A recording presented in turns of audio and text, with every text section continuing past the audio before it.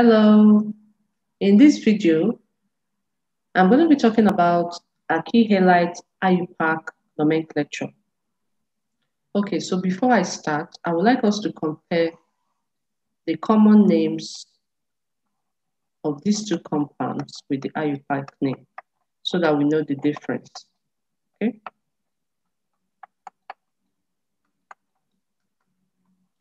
All right, so we have this. Okay, so the common name for this would be, first we need to confirm how many carbons are here. You have one here and you have two here. Okay, so this is two, or we can go the other way uh, because we would want to give this a lesser priority of number, right? So we'll number it this way. This will be one, this will be two. All right, so two carbons, that's ethane. All right, so when we're talking about alkyl halide, that would be ethyl. Now the common name of this would be ethyl, and then this iodide. Okay? All right, so this is the common name. Now, what of the IUPAC name? Now, in IUPAC name, what we are going to do is number this one, two. We have the iodine attached to carbon one. So we'll start by saying one iodo, okay? Not iodide now, as in the common names. IUPAC name would be iodo. If this was chlorine, for example, it would be chloro if it was bromine, then it would be bromo. If it was fluorine, um, it would be fluoro. Okay, so that is how you start for IUPAC naming for this particular compound or for halides. Now, since you're talking about halides, we have 1 iodo ethane. So this is the IUPAC name for this compound, why this is the common name. Now another example would be this one. So we know the difference before we dive into the IUPAC naming. Now for this particular one,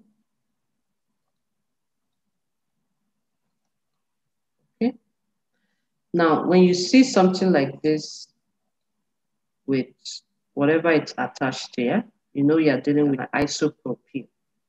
In this case, what we have, so I'm just going to write it out for the two. Now, for the common name here, of course, we start, we already know it's an isopropyl, so it will start with the isopropyl. So common names, will usually start with the alkyl group. It's just like saying alkyl halides. Now the alkyl group first, then followed by the halides. The IUPAC name is more like the Halo haloalkane. Okay, it's more like the Halo haloalkane, which is another name for alkyl halides.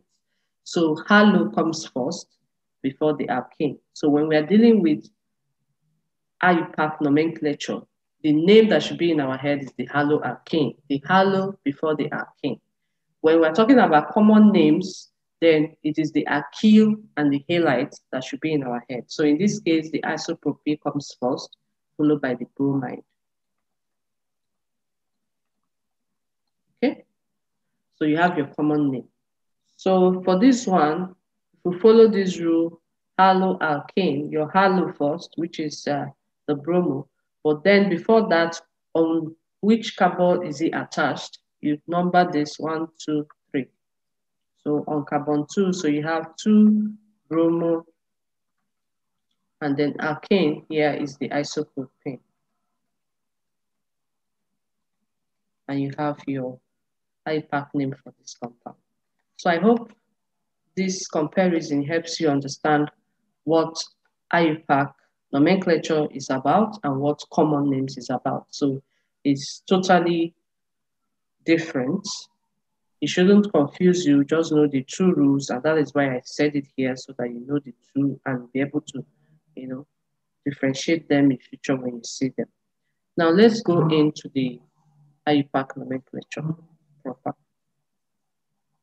Okay, so we're asked to name this alkyl halides, and um, we'll start by numbering them.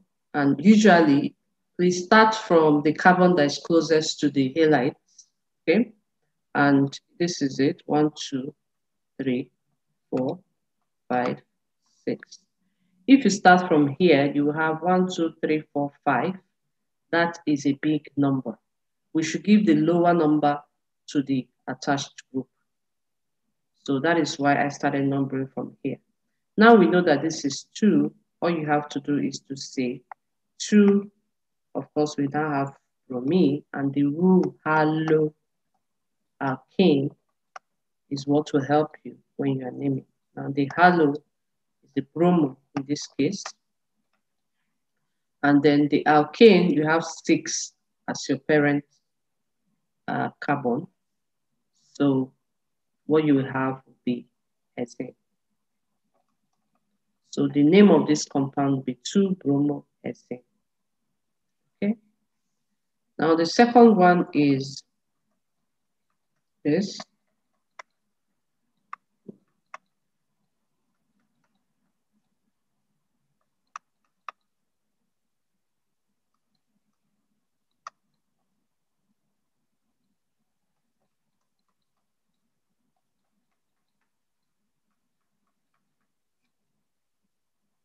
All right. So the second one is to name this compound is to name this alkyl halides. If we start from here, we have one, two, three, four. Okay. If we start from here, we have one, two, three, four, five. So you see that it's going to give uh, this five. But if we start from here to give this three and give this four, so this way is better because you end up having just three and four as the attached group against four and five. Okay, so those are important to note. So now we have one, two, three, four, five, six, and then seven. All right, so seven is our parent carbon, which in this case would be heptene, all right? But before that, we need to look at the attached group.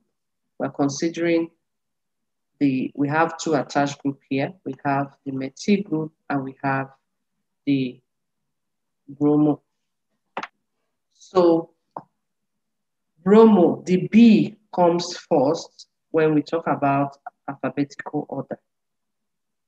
Okay, and because of that, you will have your bromo first. So you will have four bromo, then three methyl heptene. The heptene is because it's seven. Okay, so this is the name for this compound. The next thing will be to name this one.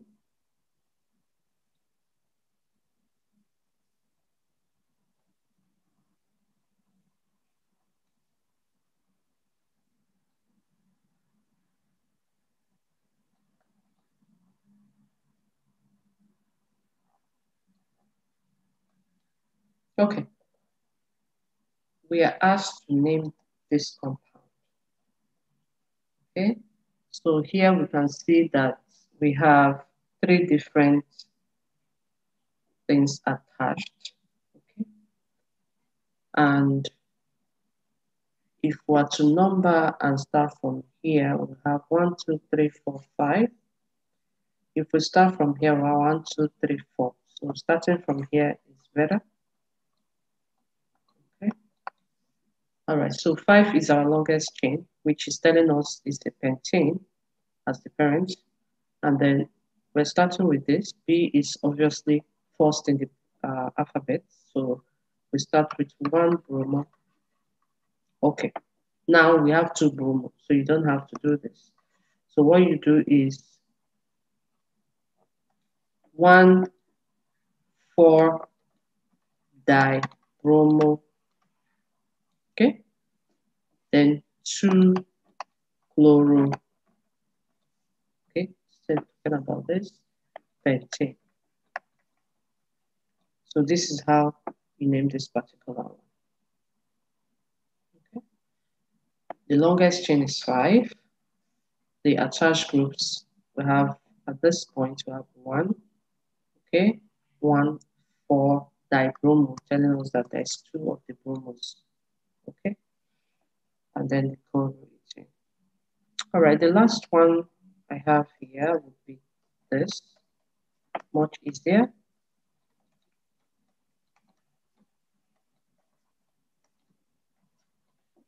Okay, so this one here is one, two, three, or one, two, three is the same. So you can go either way. So this will be two, three, dichloro. We have four as the longest chain, so it will be butane. Okay, so this is how you name alkyl halides. Now, if you are asked to draw two chloro, three, four dimethyl hexane, how will you draw this? So basically what you just do is to first look at this. So I'm going to be drawing the line structure. Now this starts with this dot as one, then two, three, four, five, and six, right? Now you have six written out. The next thing is to look at all of this in front. It says that on second carbon you have chlorine. Now let's count it. This is one, two. So here you have the chlorine. Okay. Then on the third and on the fourth you have two methyl groups. So you have the three here. You have a methyl group, and this is how you represent that. And here you have another methyl group. So that's it there. You have your compound, which is 2-chloro, 3,4 dimethyl hexane. So this is the structure for that. Okay. Now, what if you are asked to draw this other one? You're asked to draw 3-chloro, 3-ethyl heptane. Okay, I'm going to be doing both the condensed structure and the line structure. Now, if this is heptane as a parent, you just have to write out the full carbons, seven of them, because that's what hept represents, right? Now we'll write one, two, three, four, five, six, seven. Then the next thing will be to put in all these groups. The first one is on the third carbon. This is a third carbon. You have your chlorine there. On the same third carbon, you have an ethyl group, which is CH2, CH3. All right, so after this, then you fill out all the hydrogens to make up four bonds for carbon. So each of the carbons should have four bonds. So fill it up and then we're good to go. Four, four for each. Now we have this as a condensed structure for three chloro, three ethyl heptane. Okay. All right. So what if we were to draw the line structure? Actually find line structures easier because you don't have to draw out all the hydrogens. So now with the line structure, you just put a dot here. One, two, three, four, five, six, seven. Then confirm you have one, two, three, four, five, six, seven. Good. Complete. Now on the top carbon, this is it, chlorine. And same third carbon now, that is tricky. So in this case, you need to draw it out. That's one, and then two. And you have your group, okay, attached. So you have one, two, and you have your three chloro, three ethyl heptane. Okay, so that's basically how you do it.